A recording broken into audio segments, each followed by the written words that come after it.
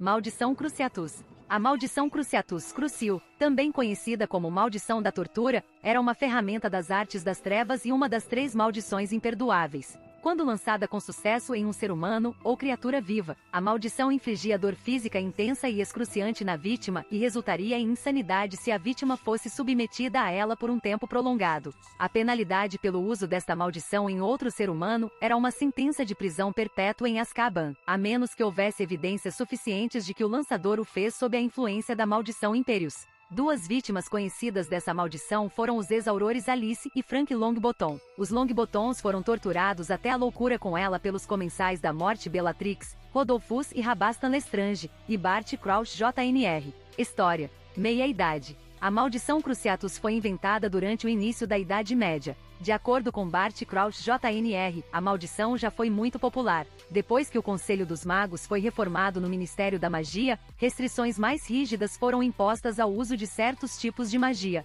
A maldição Cruciatus foi considerada pelo Ministério como magia negra e, junto com as maldições Imperius Imortal, foram declaradas imperdoáveis. Em 1717, o uso de qualquer uma dessas três maldições em um ser humano resultaria em prisão perpétua, em Azkaban sem liberdade condicional, a menos que haja evidência suficiente de que o conjurador o fez sob a influência da maldição Imperius ou por outras razões defensáveis. Muitos guardiões do segredo no passado foram submetidos às maldições cruciatus e impérios na tentativa de aprender os segredos que guardavam, mas sem sucesso, pois o guardião teve que revelá-lo voluntariamente. Primeira Guerra Bruxa. Durante a Primeira Guerra Bruxa, quando Bart Crouch SNR estava no comando do Departamento de Execução das Leis da Magia, ele lutou contra a violência com violência e legalizou as três maldições imperdoáveis para aurores contra os comensais da morte para vencer a guerra. Isso foi revogado assim que a guerra acabou, pois não era mais necessário. Pouco depois da derrota de Voldemort, quatro comensais da morte, três Lestranges,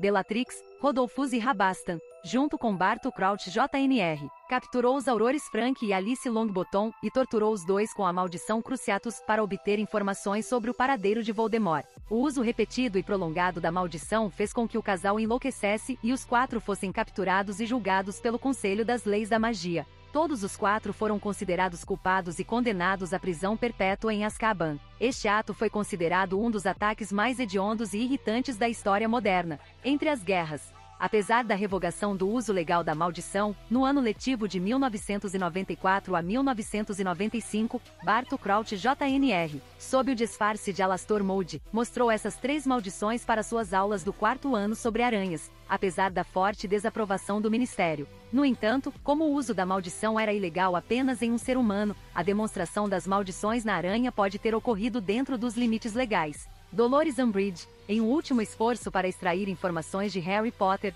quase usou a maldição sobre ele. Ela tinha certeza de que não seria chamada a responder por isso devido às únicas testemunhas do ato serem Harry e seus amigos mais próximos, e os atuais alunos da Sonserina não apoiariam Harry de forma alguma, e que ela iria ser capaz de evitar a punição pela maldição devido ao clima político de qualquer maneira. No entanto, ela foi dissuadida de usar a maldição por Hermione Granger, que deu a Umbridge uma história falsa para salvar Harry, quando a comensal da morte Bellatrix Lestrange matou o padrinho de Harry, Sirius Black, Harry perseguiu Bellatrix e lançou a maldição nela com raiva. No entanto, foi realizado sem sucesso, pois Harry estava fazendo isso com raiva justificada, e não conseguiu reunir a vontade de realmente causar dano a ela. Segunda Guerra Bruxa. Em 1997, Draco Malfoy, em um ataque de raiva e imprudência, tentou espionar Harry e mais tarde no mesmo ano, Harry tentou usá-lo em Severus Snape durante a Batalha da Torre de Astronomia, mas foi impedido de proferir todo o encantamento devido ao uso de legilimência por Snape. Quando Lord Voldemort assumiu o ministério, as três maldições foram mais uma vez legalizadas. Desta vez, todos os bruxos e bruxas tinham o direito de usá-las como quisessem, na verdade, eles eram praticados em Hogwarts como parte do currículo da aula de artes das trevas sob a tutela cruel do professor Amicus Carroll. Os alunos eram obrigados a praticar a maldição Cruciatus em outros alunos que recebiam detenção, e os irmãos Carroll a usavam para punir os alunos. Como bem entenderem, pessoas como Vincent Crabbe e Gregory Goyle gostaram muito de praticar a maldição em seus colegas, obtendo as melhores notas da classe. Hermione Granger teve essa maldição usada por Bellatrix Lestrange durante seu interrogatório na mansão Malfoy em março de 1998. Harry Potter conseguiu usá-la com sucesso em Amicus Carroll sem consequências legais. Bem como como resultado dessa legalização, pouco antes da Batalha de Hogwarts em 1 de maio de 1998. Após a morte de Voldemort e a revolução do Ministério sob o novo ministro da magia Kingsley Shacklebolt, as três maldições foram novamente proibidas e suas penalidades originais foram restauradas.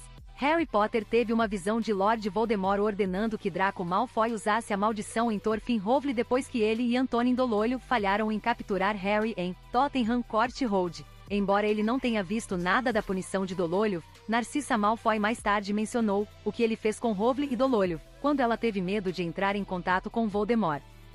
Natureza. A dor causada pela maldição Cruciatus foi descrita por Harry Potter como sendo pior do que mil facas em brasa perfurando a pele, e além do que a maioria das pessoas jamais experimentaria. A sensação da maldição era tão intensa que a pessoa sob os efeitos desejava a inconsciência e até a morte, como forma de escapar da dor lancinante. A dor dessa maldição causaria danos físicos e mentais permanentes se expostos por um tempo prolongado, como no caso dos já mencionados Longbottoms, que passaram o resto de suas vidas no hospital Street Mungus para doenças e lesões mágicas por causa do terrível trauma. A maldição causou. Este incidente foi considerado um dos destinos mais terríveis para a vítima, ainda pior do que a morte. Presumivelmente, tais efeitos permanentes não eram incomuns se a vítima fosse exposta a uma maldição particularmente intensa por um longo período de tempo. Como os feitiços de memória podiam ser quebrados por meio de tortura, a maldição Cruciatus era capaz de tal façanha, embora exigisse um certo nível de exposição no tempo e intensidade para quebrá-la.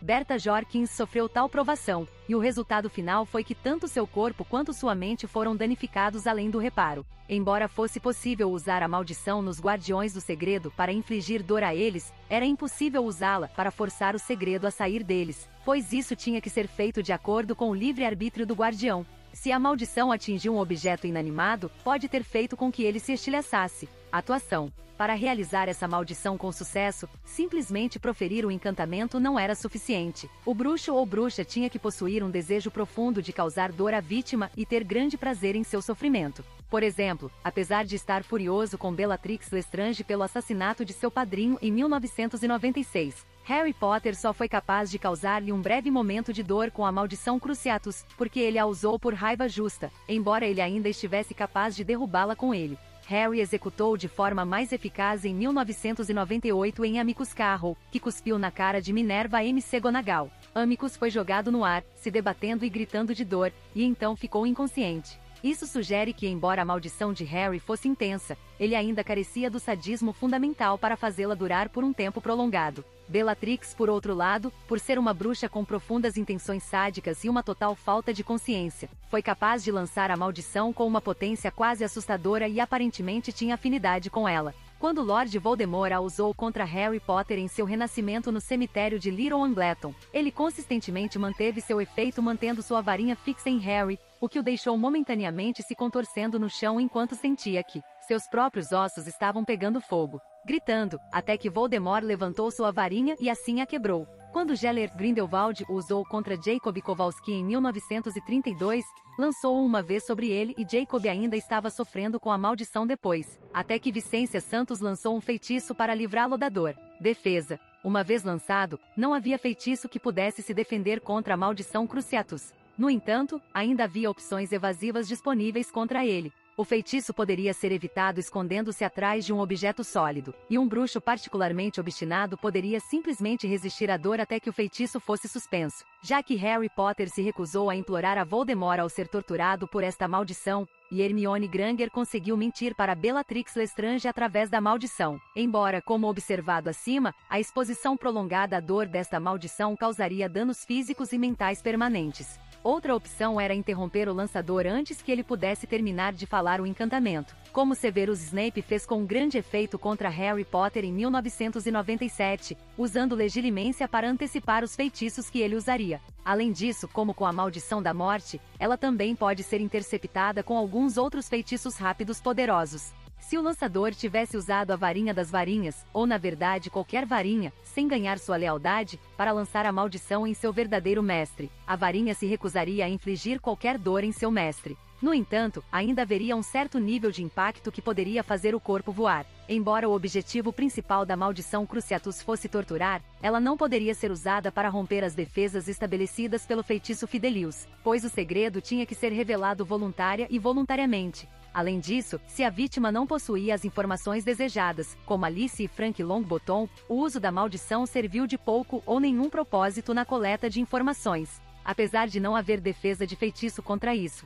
Vicência Santos conseguiu de alguma forma remover os efeitos da dor que Jacob Kowalski sentia da maldição em 1932, apontando sua varinha para ele e usando um feitiço não verbal, aliviando-o da dor da maldição. Formulários. Como sugere o título de Maldição Imperdoável, a maldição Cruciatus tinha apenas usos práticos muito limitados. Além de seu uso básico para infligir dor sadicamente, a maldição foi mais popularmente aplicada como um método de punição e um método de interrogatório. O advento dos soros da verdade tornou a maldição cruciatus obsoleta e um método geralmente impraticável para esse propósito específico. No entanto, se os soros da verdade não estiverem disponíveis, o interrogador pode optar por usar essa maldição. Comparada com o uso de soros da verdade e até mesmo da maldição impérios, a maldição cruciatus era muito menos eficiente, pois a pessoa que estava sendo interrogada corria um alto risco de confessar falsamente para aliviar seu sofrimento sob o feitiço, independentemente de realmente deter a informação. O interrogador desejava procurar e extrair. Como a maldição não poderia forçar um guardião do segredo a divulgar as informações ocultas, era essencialmente inútil a esse respeito, apesar de muitos no passado terem sido submetidos a tal tentativa de extrair o conhecimento. A maldição pode ser usada efetivamente em um duelo, infligindo uma dor tremenda ao oponente, impedindo de contra-atacar,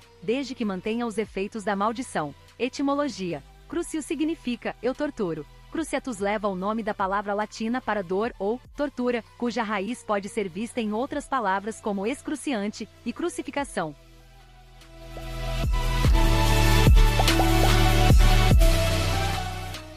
Se você gostou do conteúdo, não se esqueça de dar like e se inscrever no canal. Eu fico aqui, até a próxima!